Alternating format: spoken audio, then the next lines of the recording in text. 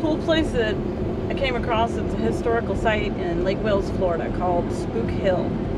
And it's supposed to defy gravity. It comes with a legend of a, a chief in an Indian village and a huge alligator. Supposedly this alligator kept attacking the village. And the chief fought it one day. Fought it so hard that they created a small lake. The chief was then buried later up just north of the lake, just like where this hill is. So legend has it that either the chief is still protecting his land or the gator is seeking revenge with this defying gravity hill. And I'm driving up here now and we're gonna see what happens. See if we really go up a hill in neutral. Let's see. See how spooky this will get.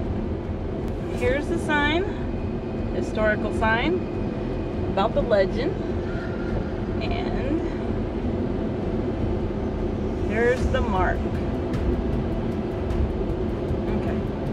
Supposed to come up to the line, stop and put it in neutral. Let's see what happens. Alright, uh, okay, neutral. Ready? Uh, I'm not going forward. okay, uh, let's try it again. Alright, how about if I don't even take it out drive? it's still trying to go backwards.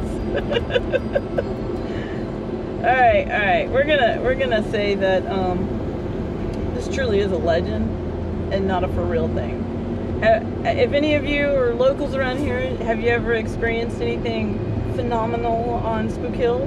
Have you been like defied gravity? Let me know, because I didn't. Alright, see you on the next thing.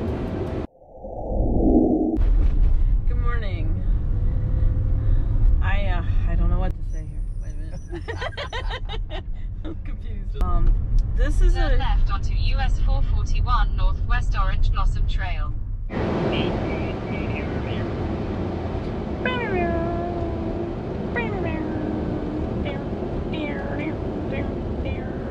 Here's another church.